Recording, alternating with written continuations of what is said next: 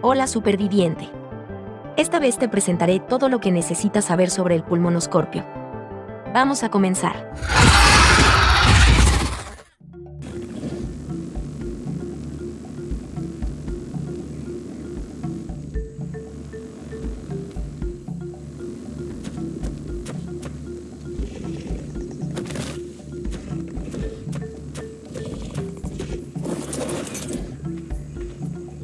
No sé muy bien por qué, pero los escorpiones gigantes que he visto en la isla son mucho más inquietantes que la mayoría de los dinosaurios.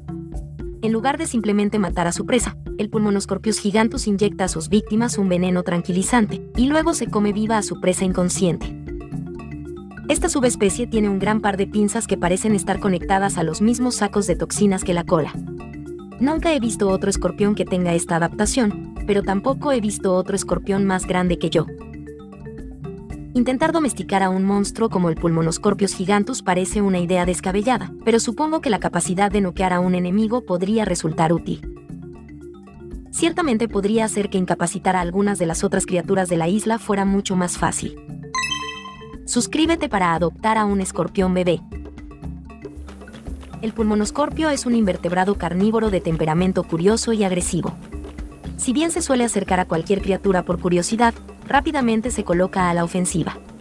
Habita principalmente en las montañas de la isla, pero también en la isla de los carnívoros y en varias cuevas. Este escorpión gigante induce torpor con sus ataques, lo que te puede poner en aprietos si te encuentras desprevenido. Enfrentarlo es relativamente sencillo pues no posee una gran velocidad de movimiento y puede ser inmovilizado con la boleadora.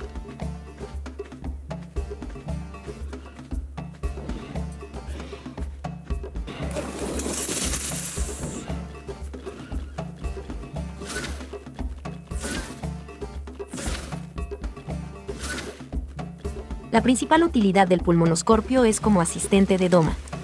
El torpor de su ataque escala con el daño melee, específicamente tres veces más. Su daño base es de 15 unidades, por lo que el torpor mínimo que causará es de 45 unidades durante un tiempo de 10 segundos.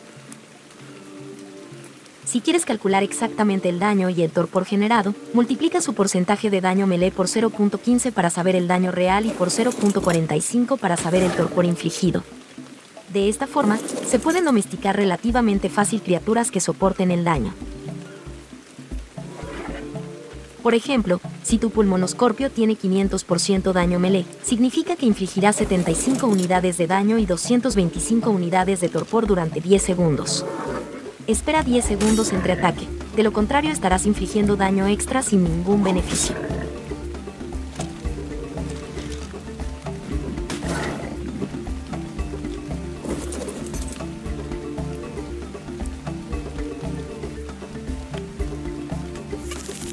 Otra utilidad de este escorpión es la exploración de cuevas ya que varias criaturas suelen ignorarlo. Además tiene una movilidad bastante buena a la hora de escalar superficies irregulares.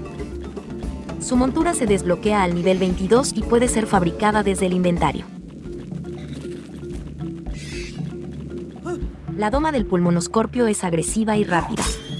Puedes atraparlo en una trampa pequeña o simplemente inmovilizarlo con una boleadora. Un nivel 150 requerirá 7 dardos o 10 flechas de ballesta. Posteriormente aliméntalo con 8 piezas de kibel regular durante 14 minutos o 32 unidades de carne podrida durante 32 minutos.